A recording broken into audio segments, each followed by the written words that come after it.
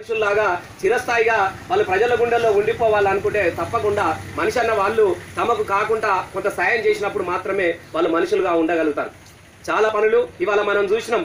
లోపలికి పోయినాం. లోపలికి పోయిన తర్వాత కొబ్బరికాయ కొట్టినాం. ఏ దేవునికి కొట్టినాం మనం? వెంకటేశ్వరుని కొట్టినామా? లేకుంటే లక్ష్మీనరసింహ స్వామి కొట్టినామా? ఆంజనేయ స్వామికి మొక్కినామా? మనం రోజు మొక్కే మన పోషమ్మ తల్లికి మొక్కినాం కొబ్బరికాయ కొట్టినామా? ఎవరికి కొట్టినాము? అంబేద్కర్ అనే ఒక దేవునికి అక్కడ కొబ్బరికాయ కొట్టుకొని బాబు జగ్జరావుకి మనము దండలు ఇస్తున్నాం మరి కానీ దేవుళ్ళు ఉత్తరైన వాళ్ళు మనుషులే కదా. వాళ్ళు మనుషులే.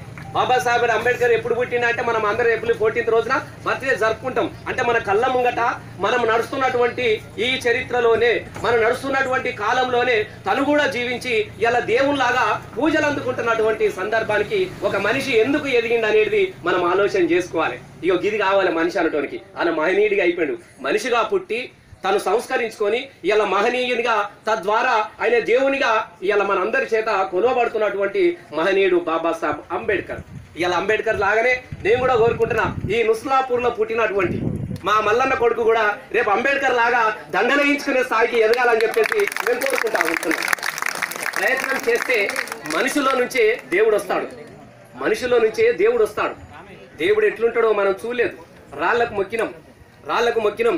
చెట్టును కూడా దేవతగా కొలుస్తున్నాం తప్ప దేవుణ్ణి మాట్లాడే దేవుని మనం చూడలేదు. కాబట్టి మనిషికి మనిషికి సహకరించినప్పుడు మనుషుల కోసం సమాజంలో మనుషులకు కావలసినటువంటి దాన్ని సేవ చేసిన వాడే ఇవాళ మనుషులుగా ఆ దేవులుగా కొలవబడతా ఉంటారు. మదర్ తెరిసా ఒక మాతృమూర్తి ఆమె ఒక దేవత.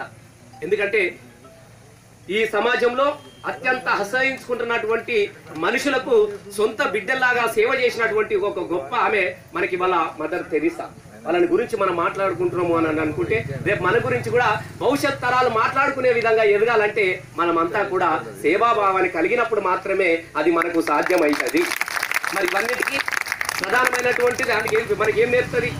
చదువు లేకుండా మనిషి బతకడు చదువరానోడు గవ్వే ఐదేళ్ళతో ఇదే చేయితో అన్నం తింటాడు. కాదంటే కొందరు ఎడమ తింటారు కొడి తింటారు కానీ చేయిలతోనే తింటారు ఎవరు? నాకు మాత్రం పక్కా విషయం.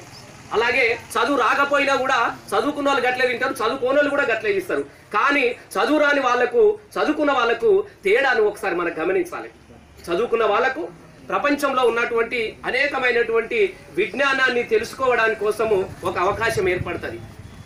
తరతరాలుగా ఈ చరిత్ర గురించి ఈ విజ్ఞానం గురించి మహనీయులు రాసినటువంటి చరిత్రను చదువుకోవడానికి కోసము మనకు అవకాశం ఉంటుంది. ఇవల్ల దాని ద్వారా ఇవాళ మనకు ఉద్యోగ విషయంలో కావచ్చు మిగతా రంగాలలో కావచ్చు అన్నిట్లో కూడా చదువుకున్నప్పుడు మనకు ఒక వెసులుబాటు ఉంటుంది.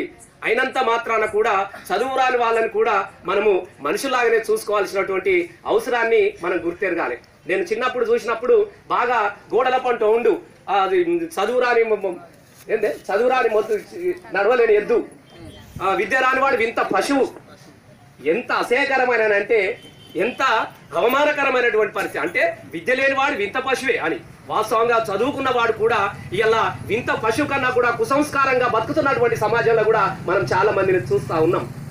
చదువురాని వాళ్ళు కూడా చాలా మంది మనిషిలాగా బతికినటువంటి సందర్భం ఉన్నది. మహనీయులుగా ఎదిగినటువంటి సందర్భం ఉన్నది. సాటి మనిషిని ఎవరైతే గౌరవిస్తారో వాడు మాత్రమే మనిషిగా కొలవబడతాడు. మనం చదువుకొని కూడా ఇతరులు మనిషిగా చూడలేనప్పుడు మన మనిషి జన్మకు మనకు సార్థకత ఉండదు.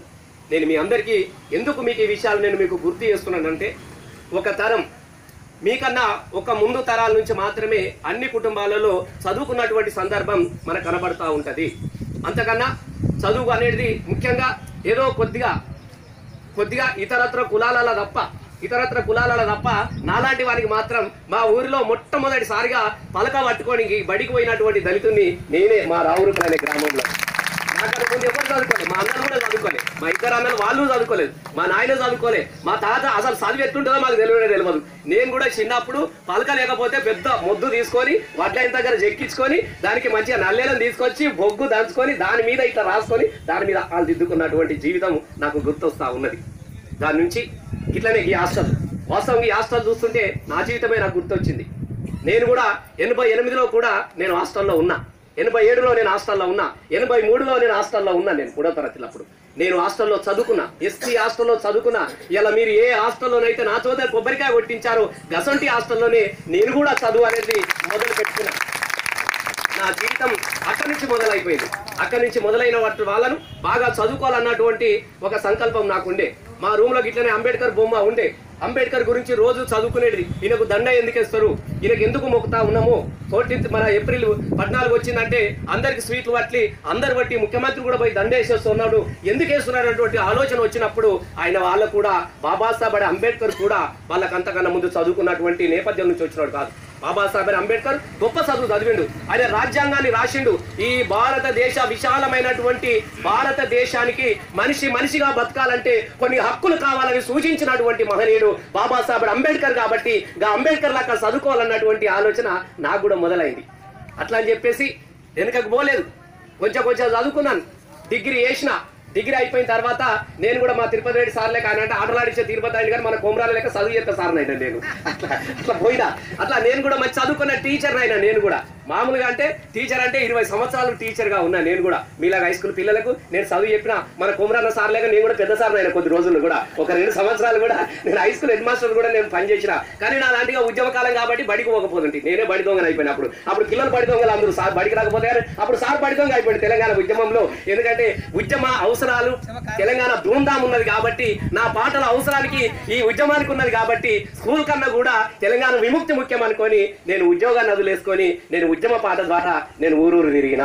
అట్లా నేను కొద్దిగా స్కూల్ దూరం అయిపోయినా కూడా కానీ ఆ ఉద్యమ పాట కూడా నేను ఎందుకనంటే మీలో కూడా కొత్త ఆలోచనలు ఉంటాయి. వాస్తవంగా మాకు మీకు చాలా తేడా ఉంటుంది. చిన్న చిన్న పిల్లలు కూడా అన్ని ఫోన్ టకటకట ఆపరేట్ చేస్తారు.